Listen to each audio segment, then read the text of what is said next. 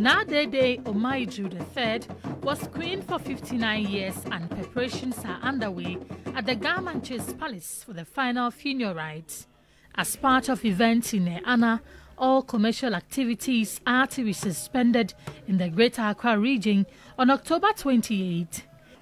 We hereby announce that on Saturday, 28th October 2023, all commercial activities within Greater Accra will be suspended as a mark of solemn respect and final farewell to our beloved Queen.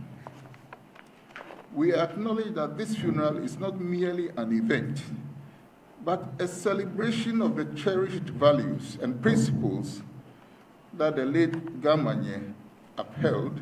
Funeral Planning Committee urged the Ghana Traditional Council and Ghanaians to adhere to the restrictions to prevent chaos.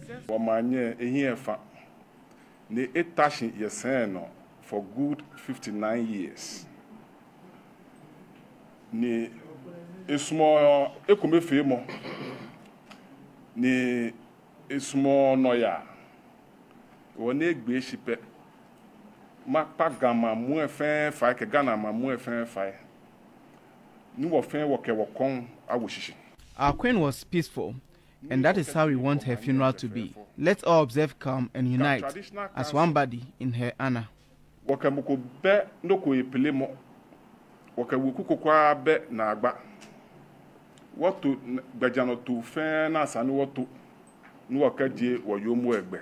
The final funeral rites of the late Ga Manye, who passed away in December last year, is slated from October 15 to 31.